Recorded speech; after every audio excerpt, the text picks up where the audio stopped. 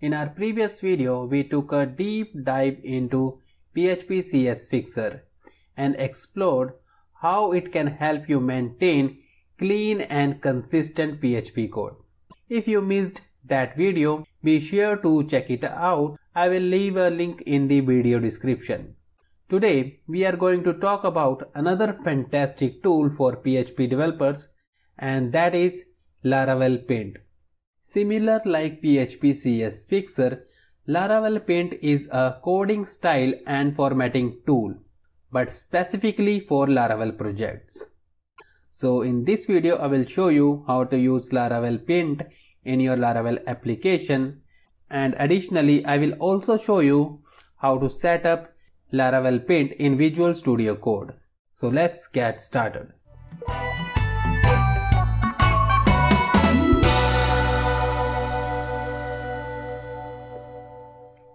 So first, what exactly is Laravel Pint and why should you consider using it in your Laravel projects? Laravel Pint is an opinionated PHP code style fixer. It is built on top of PHP CS fixer, but it is specifically designed for Laravel projects. Pint comes with a set of default rules that follow the Laravel coding style guide. This means that you can start using Pint right away without having to configure anything. The main difference between PHP CS Fixer and Laravel Pint is that Pint is more opinionated and Pint is specifically designed for Laravel projects, making it the preferred choice if you are working primarily with Laravel. PHP CS Fixer on the other hand a standalone tool that can be used with any PHP projects, including Laravel. Another key difference is that Pint is easier to set up. With PHP CS Fixer, you need to install the package and need configurations. With Pint, you just install the package and start using it. No additional configuration required. One more thing, if we see this PHP CS Fixer, from this link you can see it supports these PHP versions. On the other hand in this Laravel pint if we see this composer.json here you can see it requires minimum PHP 8.1 version. Now let's see Laravel pint in action. By default Laravel pint automatically installed on create a fresh Laravel application. To verify this in the editor, this is the newly created Laravel application and if we see the composer.json and here you can see Laravel pint is already installed. If you want to install this in your existing project then let's go to the github repository and here is the official documentation for Laravel pint. Let's open this in the new tab Using this composer require command, you can install Laravel Pint in your application. This is all you need and it is ready to use. In our case, it is already installed, so we can skip this. After installing this, the pint binary file is available in the vendor bin directory. Let's see. So in the terminal ls vendor bin and here you can see we have pint. So to fix PHP files, vendor bin pint. It will automatically fix formatting style according to Laravel coding standards. Let's run this and see. It has fixed all these files and it has also mentioned the routes it has used to fix all these files. And let's go to the editor and in the git we can see it has fixed all these files and here we can see the changes it has made. Now let's discard all these changes and on terminal with this command we can also pass dash dash test. This flag is for a dry run to show all the files that need fixing without actually fixing them. So let's run this. And here we go. It has given the list of files that need fixing. But if we see this in the editor we cannot see any changes it has made. With this command we can also pass dash v flag to see what changes it need. So press enter. Here you can see in the routes web.php here it needs two rules no extra blank lines right here and single blank line at the end of file after this line. Similarly, all these changes it needs for these files. Next, as I already mentioned, there is no need for any configuration for pint. But if you want to customize the presets or rules, for this you need to create a file called pint.json in the root directory of your project. Let's see this. So in the editor, here let's create a new file in the project's root directory and that is pint.json. And here we have an object and here we need option preset. By default, Pint uses the Laravel preset which follows Laravel's opinionated coding style to fix issues. You may specify different presets for example, you can specify symfony or PSR 12. Now if we see the documentation, scroll down, currently Pint supports these predefined presets. Now let's try this PSR 12 rule set. So in the terminal, here we can run vendor bin pint. This command automatically detects the pint.json configuration file in the project root directory. But if you want to load pint.json from a specific directory, then you can use dash dash config and then path of pint.json. In our case, it is in the project's root directory, so we do not need to specify this. So press enter to test this. And now you can see these are the files fixed according to the PSR12 rule set. These presets are predefined group of rules.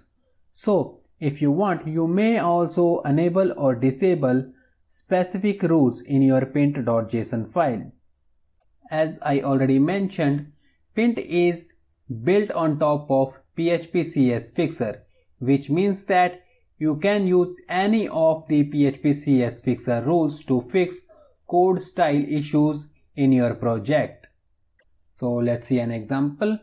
To specify a rule, here we will use a rules and then we can use rules from PHP CS Fixer. For example, in the previous video, we have implemented this PHP CS Fixer configuration file. So let's see this rule array syntax. So i'm going to copy it from here and next paste that here. Because this is a json file so we need to change this in the json format.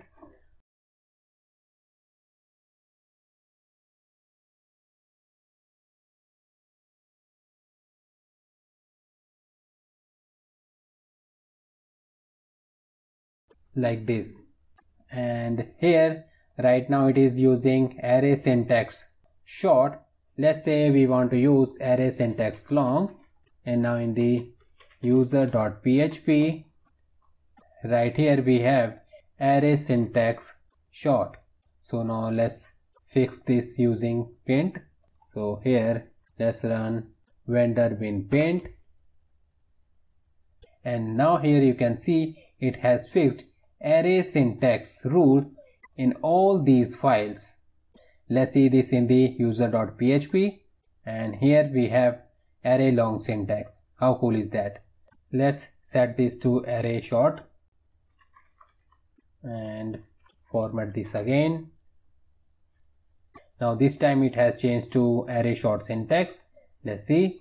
Now it is back to array short syntax.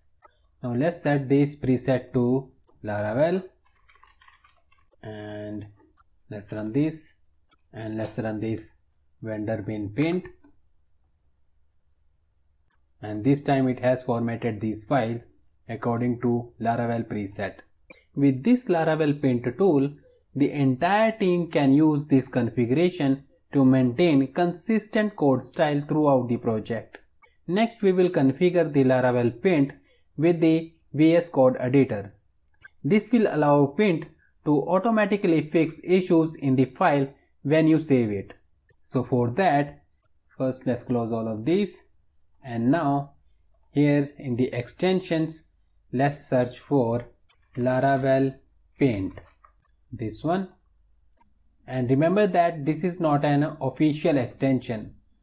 Let's install this it is installed so let's close this and let's open the settings so press control comma and select this user tab to open global settings.json and in the end of the file here you can see in the previous video we have configured the php cs fixer and right here we have set the default formatter PHP CS fixer for PHP files. So here what we want for all other PHP projects we want to use PHP CS fixer but for Laravel we want to use Laravel pint. So for that we need to override this setting in the workspace settings. So in the settings let's select this workspace and click this icon to open workspace setting and this is the example setting that I have shown in the previous video to override settings in the project's workspace. So let's comment this and now here in the users global setting first here I want to set Laravel pint enable false. So for all other projects I want to disable it. And it has asked me to reload the VS Code editor. So let's reload this. And now let's copy these settings and paste it here. Next here we want to use default formatter open southeners laravel pint the extension vendor name and the extension name. And here laravel pint enable and again it has asked to reload the window. So let's reload this. So here what we are doing globally by default it is going to use default formatter PHP CS fixer. But here in the workspace setting we have override this and set the default formatter Laravel pint and it should be enabled. Here we need to set one more option. This one let's copy this and paste it here and set PHP CS fixer on save false. Great. Now let's test this. So in the user.php here let's add some bad code style like this. Now on press Ctrl S to save file it should fix this error using Laravel pint and it is fixed. So to make sure it is fixed by Laravel pint let's open the pint.json and here array syntax let's set this to long. Now in the user.php scroll down and here here we have array short syntax. So on save file it should change to array long syntax.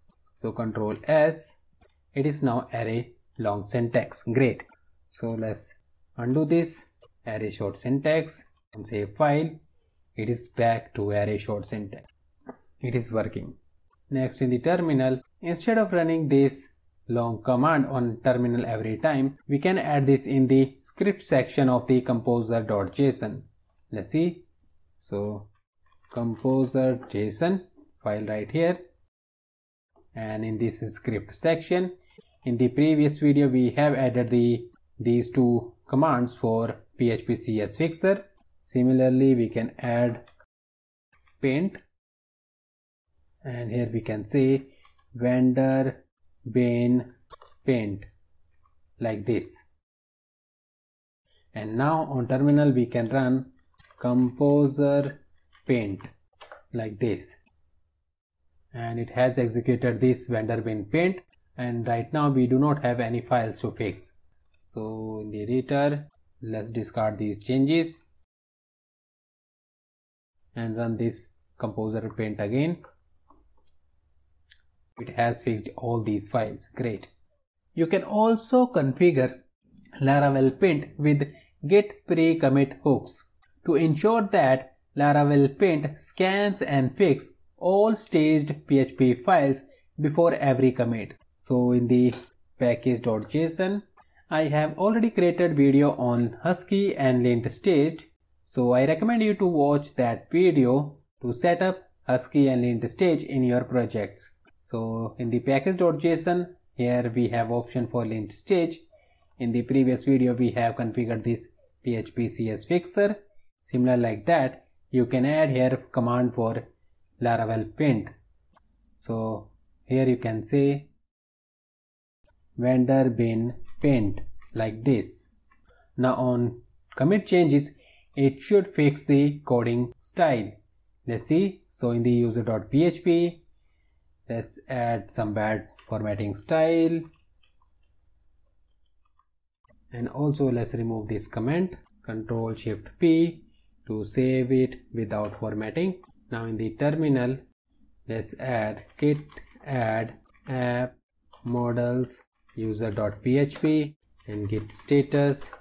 Now here we can see here we have one stage file that is user.php model git commit fnm let's say fix user.php the commit is successful and in the user.php it has fixed the bad coding style.